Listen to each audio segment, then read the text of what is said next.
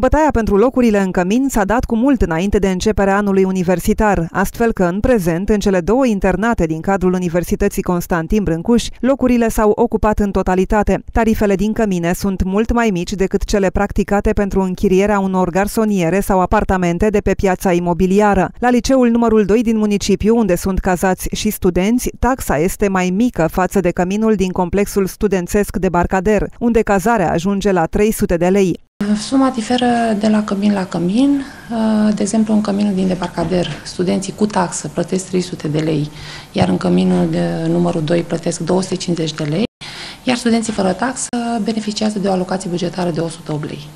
Există și studenți care nu scot niciun ban din buzunar pentru cazare. Sunt și studenți care sunt scutiți de această taxă, avem un regulament în sensul acesta. Este vorba de copii de cadre didactice, de copii orfani și, bineînțeles, bursierii uh, din Republica Moldova ai statului român sau din Republica Serbia. În cele două cămine studențești din Târgu Jiu sunt disponibile 108 locuri de cazare, toate fiind ocupate în prezent.